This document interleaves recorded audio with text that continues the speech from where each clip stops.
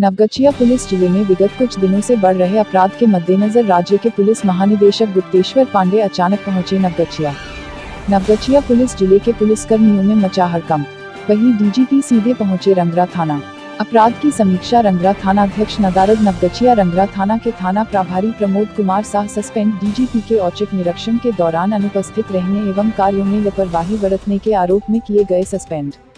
साथ ही थाना के अभी पुलिस कर्मियों को भी बदलने का दिया निर्देश, नवगछिया से कन्हैया झा की रिपोर्ट।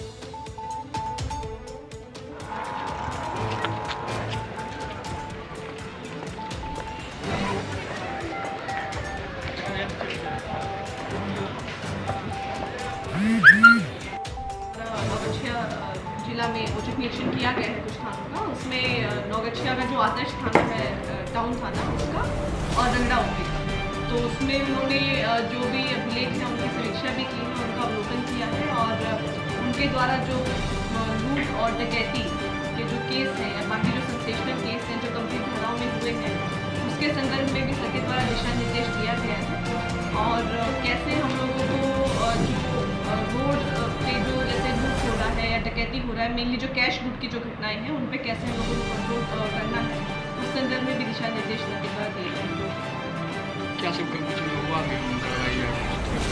उसके बारे में अभी हम टिप्पणी नहीं कर सकते। तो सर अपने कुछ हम लोगों को बोला गया है रंगड़ा थाना का जो स्टाफ है, उसको सबको चेंज कर देंगे, पूरा रंगड़ा थाना को तो वो हम अभी कर देंगे। और बाकी जो डी जी भागलपुर सर भी आए हुए थे, उनको कुछ दिशा निर्देश दिए हैं उन्होंने मतलब कांडों की समीक्षा करने के संदर्भ में, और जो पुराने लंबित कांड हैं उनकी जो संख्या है वो घटे उसके संदर्भ में उनके द्वारा दिशा निर्देश दिए गए हैं तो हम लोग उसको फॉलो करेंगे रंगरा थाना अध्यक्ष पे कोई कार्रवाई? नहीं उनका स्टेशन डायरी वगैरह अद्यतन था लेकिन चूँकि घटनाएँ काफ़ी उनके यहाँ पे घटी हैं और मतलब पदाधिकारियों के जो है उसमें मतलब गंभीर है कि वो लोगों ने उसमें कंट्रोल नहीं पाया तो उसी के संदर्भ में उन लोगों को पूरे थाना को का में क्या पाया गया? नौगछिया में जो हुआ है उसमें जो थाना प्रभारी है नौगछिया के वो सीआईडी में गए हुए थे। डी सीआईडी साहब के यहाँ पे केस का रिव्यू है उसी में गए तो थाना प्रभारी नहीं थे और बाकी जो जो स्टाफ था तो उस संदर्भ में भी उन्होंने जो भी है उनकी टिप्पणी दी है। सब जो जी एस आई है वो भी आए हुए थे। उनको भी संदर्भ में उन्होंने दिशा निर्देश दिए महिला थाना?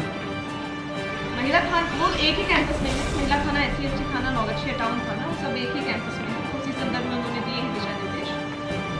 गए थे वहाँ पे कोई नहीं पाया गया कोई स्टाफ नहीं ताला लगा हुआ था वो अभी हमको देखना होगा क्योंकि महिला थाना प्रभारी छुट्टी पे है और एस सी थाना प्रभारी के घर में कोई कैजुअलिटी हुआ है तो वो भी छुट्टी में निकलेंगे उसको हमको देखना होगा।